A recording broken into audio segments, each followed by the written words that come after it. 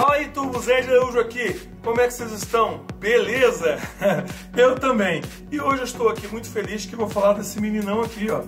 Esse aqui, galera, é o W830BT da Edifier. E eu gostei muito desse cara e é sobre isso que a gente vai falar agora. Bom,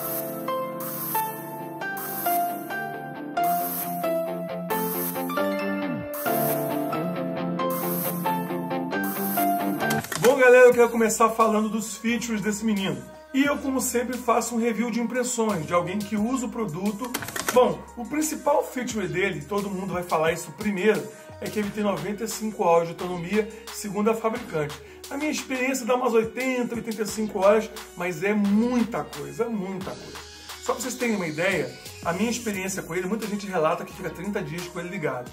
Como eu sou um usuário hard de fone, eu tenho muitos fones, sou colecionador, por isso eu sou muito exigente com fone, eu fico uma semana com ele ligado. Lá pelo sábado ou domingo, eu coloco ele para carregar e aí ele carrega durante a noite. Quando chega de manhã, é, eu ligo de novo ele, ele fica a semana toda.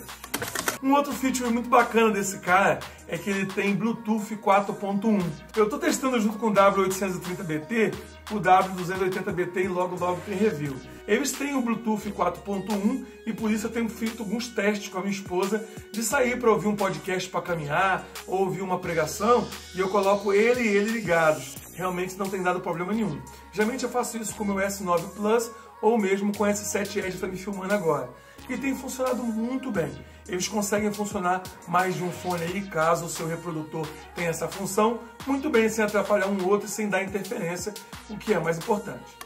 Bom, ainda falando dele, com foco nos features que mais me interessam, cara, ele tem a tecnologia Qualcomm aptX, que te permite usar arquivos de mais qualidade. Eu sei que o usuário comum, né, ele não vai usar essa função na maioria das vezes, mas como eu trabalho em estúdio de gravação, eu testei e moleque, é bom para lascar. Uma outra coisa que ajuda pessoas como eu que trabalham em estúdio é o fato de que ele vem com esse cabo de 3,5 mm que você pode ligar nele quando a bateria acaba, o que demora para acontecer, mas também quando você precisar de uma referência mais fiel. Né? Então eu tenho usado essa função, esse cabinho é muito bacana, de qualidade legal, tem uma das pontas anguladas, douradinho, Edifier caprichou nesse fone. A sonoridade desse fone, que é um outro feature dele, pode ser para uns e não ser para outros, mas se você souber usar, vai funcionar muitíssimo bem. O Edifier W830BT tem uma sonoridade muito bacana para a maioria dos estilos musicais. Se você curte rock, pop, música eletrônica, R&B, rap, hip hop, você vai gostar de usar esse fone. Por quê? Porque ele tem os graves levemente pronunciados, que a galera, em geral, vai gostar de usar. Então, para o público mais geral, mais mediano, vai adorar esse fone, porque ele realmente foi feito para agradar na maioria dos estilos, na minha mais modesta opinião. Já para usuários assim como eu, que usam é, profissionalmente para mixar, ou para gravar, ou para timbrar algum instrumento, ele vai incomodar um pouco, por conta desse grave um pouco mais pronunciado. Você vai preferir um fone um pouco mais flat, e aí não é uma questão de ele não ser bom, é que ele não foi feito, nem desenhado, nem projetado para essa utilização, ok? Por exemplo, eu timbrei alguns timbres para tocar na igreja no meu teclado, na minha DAW de preferência, que é o Main Stage 3, meu MacBook Pro, e eu consegui chegar na igreja e ter um bom resultado no PA. Pá, vamos falar do meu dia a dia com esse garoto? Então vamos lá. Tirando o fato de que ele tem uma autonomia absurda, eu acho que é a maior no fone Bluetooth até o momento. Tirando o fato de que ele é muito bem construído, muito bem, tá? Ele tem um couro sintético que convence demais, é bem bacana nos detalhes, reparem aí. E a construção dele, cara, agrada não só do ponto de vista de você olhar e falar, poxa, é um fone bem construído, mas também do ponto de vista de você colocar na sua cabeça e ele ficar bonito. Ele é todo construído em metal, plástico e couro sintético e também, cara, ele tem um design que, na minha opinião, lembra os fones mais modernos da atualidade. Ele não é aquele fone super clássico, vintage, mas também não é uma coisa modernona e maluquinha, sabe? Ele é bem assim, ele é bem sóbrio na sua construção. Tem uma versão branca, uma versão branca com o rosé, enfim, dá para você escolher. Vai no site da Edifier, Obviamente que tem cupom de desconto aqui embaixo que a galera da Edifier deixou pra gente, então corre lá. Mas vale muito a pena dizer, galera, que é um fone que me agradou demais e que eu não pretendo tirar nem tão cedo do meu setup. Inclusive, eu testei ele em muitas condições diversas. Usei no estúdio, usei para consumir multimídia o dia inteiro no YouTube, usei também para viajar. Isso mesmo, eu viajei com ele, fui para São Paulo e voltei. E eu usei inclusive para uma coisa que eu não costumo fazer, que é ir para a igreja ouvindo música, porque ele é grandão. Então eu tenho muitos fones grandes assim, eu geralmente não uso. Acho meio chato, chama atenção e tal. Mas eu queria saber como seria o isolamento dele no ambiente externo. Eu gostei de como ele se comportou, ele realmente veda o som externo e é muito leve. Tá? Ele não passa aquela ideia de que é um fone mal construído, plasticão, xing-ling, não. Ele passa uma, uma ideia pra gente de muito robusto e muito confiante. O som, como eu já falei, realmente agrada na maioria dos, dos sons. Eu tenho escutado muito música de worship, que é o que eu toco, muito rock, pop, música eletrônica que eu amo ouvir. E cara, é impressionante como o som dele casa nesses estilos. Tá, claro, se for ouvir uma música clássica, ele não é tão flat quanto deveria para esse estilo específico. Se for ouvir um trio de fusion, você vai ter uma dificuldade, porque ele tem ali um grave mais pronunciado, pelo menos se você for um, um audiófilo ou um apreciador mais enjoado, mais chato. Mas se você é um apreciador ordinário de música comum, você vai amar esse fone. Não vai tirar do ouvido por um motivo. O som dele é muito gostoso e ele não acaba nunca a bateria, de verdade. Bom, galera, e como é que eu estou usando esse cara no meu dia a dia? De duas maneiras. Eu estou editando todos os meus vídeos com ele. Sim, é fácil porque quando eu estou no meu MacBook Pro, eu consigo conectar ele e mais um fone sem fio.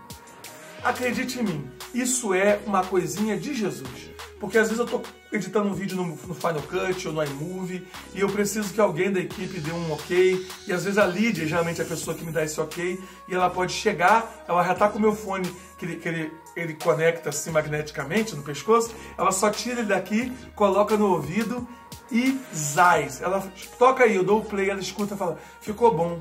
Outra coisa, como o som dele é muito bom, eu consigo mixar no MacBook sem precisar vir para o estúdio. Porque às vezes eu tenho que sair da cama, ou sair da ilha de edição, para vir no meu estúdio de áudio para mixar o áudio. Como eu tenho programas de edição de áudio também no MacBook Pro, eu consigo de lá mesmo já editar, porque ele me dá essa garantia de que é um fone bom.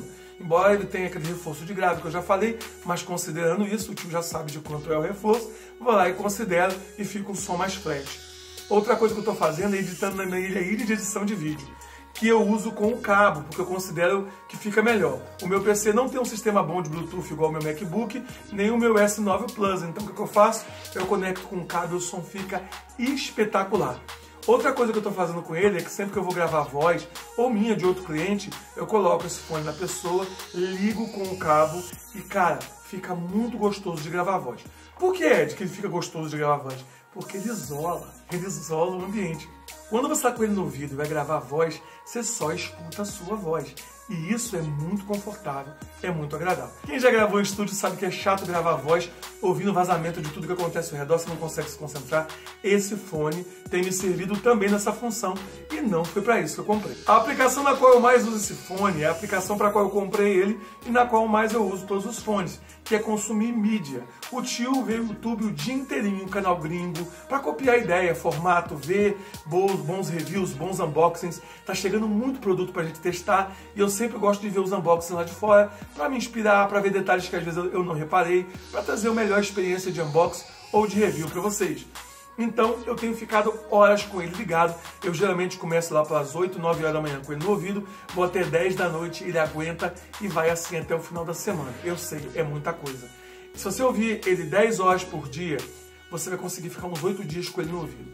É coisa de maluco, eu sei. Eu, às vezes, fico mais tempo que isso. Às vezes, viro noite usando ele. Eu só vou lembrar que ele tem uma bateria quando chega lá pelo sábado ou pelo domingo. Loucura, não é? Outra coisa, ele não demora muito para carregar, não. O carregamento dele eu considero rápido pelo tanto de tempo que ele tem de bateria. E eu sei que, geral, a galera fala, ah, Ed, você ganha um fone, você é patrocinado da Edify, é parceiro e tal. Então, a experiência de vocês vai mudar sobre isso quando eu disser o seguinte.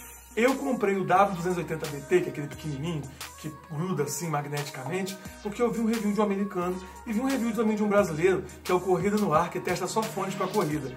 Cara, eu me apaixonei pelo fone e comprei. Eu sempre comprei meus fones. E quando eu gosto de um fone, eu compro. E quando eu não gosto de um produto, sinceramente, eu não recomendo o produto aqui. Eu tenho essa política, eu não falo mal de ninguém, obviamente, mas eu não recomendo produtos que eu não gosto. Esse fone dura mais de 80 horas, tem Bluetooth 4.1, chega até uns 5, 6 metros de distância muito bem do seu aparelho. O fabricante fala 10, mas acho que uns 6 ele chega bem. E cara, funciona com fio, tem um som incrível E como se não bastasse, vem numa case lindíssima, semi-rígida, cara, que dá para você levar ele para qualquer lugar. É linda essa case. Eu falei do que vem nele na caixa, a caixinha tá até aqui atrás, eu falei disso no vídeo de unboxing, se você não viu o unboxing dele, tá aqui em cima. Logo eu vou fazer o review também do W280BT que eu comprei. Vale muito a pena dizer também, galera, se você tem esse, um, um celular de intermediário para avançado, cara, eu queria dizer que ele tem NFC. Isso facilita muito parear, você chega perto do seu aparelho e ele já pareia. É mais rápido que o Bluetooth e para quem gosta dessa tecnologia vale muito, muito a pena. Tá? Eu me apaixonei pelo W830BT da Edifier.